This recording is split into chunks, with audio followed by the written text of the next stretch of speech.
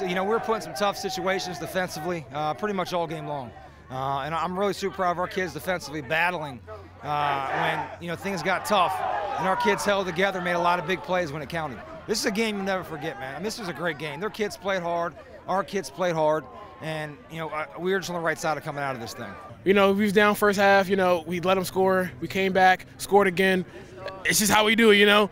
Defense, big defense. Oh my God, I couldn't, I couldn't love these boys no more better than this, bro. Defense stopped them, shut them down more than I don't know how many times. We started off good, and then they scored on us. They started to get in our heads, but we didn't let it bother us. We didn't let it bother us at all. We came back, we smacked them in the mouth, and we just did what we do, execute.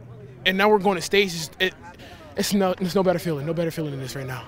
We had uh, so many opportunities to win the football game, um, it stings a lot. We're going go into the summer uh, full tilt and uh, always have this game circled on our calendars.